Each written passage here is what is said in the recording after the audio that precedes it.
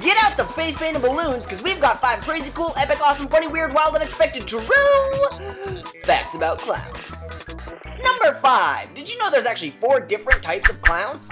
August clowns, character clowns, the tramp or hobo, and whiteface clowns. August clowns, which is German slang for idiot, are the least intelligent and craziest of all clowns. They usually have an unpainted face with exaggerated features. Their costume is generally bright, colorful, mismatched, and oversized. Character clowns depict a specific occupation or job. The most famous example is a rodeo clown who helps keep the cowboys safe. Their makeup can be similar to any other type of clown as long as it complements the character the clown is playing. The tramp, or hobo, is the lowest on the clown totem pole. Mm, poor guy. Makeup usually includes facial hair, with white around the eyes and mouth, and the costume usually includes a patched and tattered suit as well as an old hat. And finally, the white face clown. They're known for having, well, the white faces and exaggerated features that are painted red or black. They're also the only clown allowed to use sequins, rhinestones, or other flashy material to bedazzle their outfit. They have good manners and are the most intelligent, usually serving as the ringleader for a group of clowns. So yeah, there is more to clowning than just painting your face and wearing an oversized bow tie. Not much more, but still, there's rules.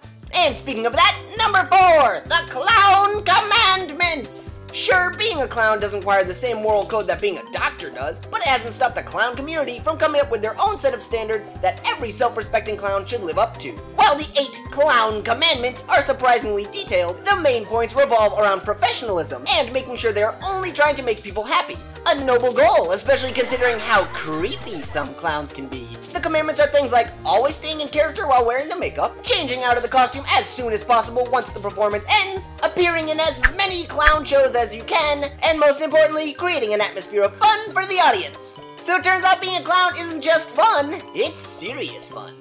Number 3. Sometimes clowns come from places or cultures we'd never expect. Take Native Americans for instance. Some tribes had members called Heyokas, which translates to clown or opposite.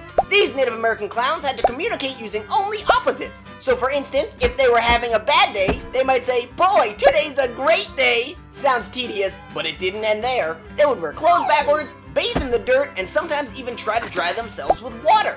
Weird.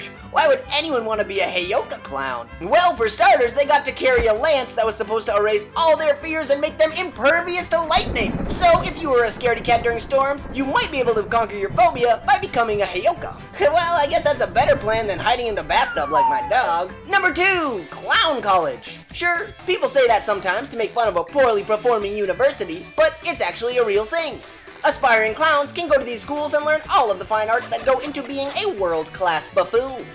They'll teach you how to juggle, how to put on goofy makeup in just the right way, and how to do all the small things that separate your run-of-the-mill clowns from a truly great one. A good clown will likely spend years perfecting their art, looking for auditions, and making a name for themselves.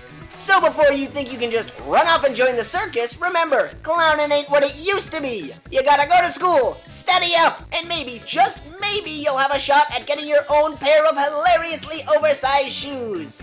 And finally, our number one fact, the clown car. Maybe the most recognizable part of a clown's routine is when a tiny car rolls up and an impossible number of clowns come pouring out, one by one. While it definitely seems like an illusion, it's not. They really all fit in there. First, they hollow out a car as much as possible until there's absolutely nothing left that isn't necessary to keep the car functioning.